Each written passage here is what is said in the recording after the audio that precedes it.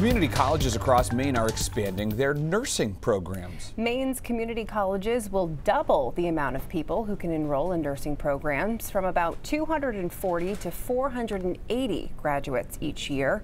The expansion will also offer new night and weekend nursing programs across the state.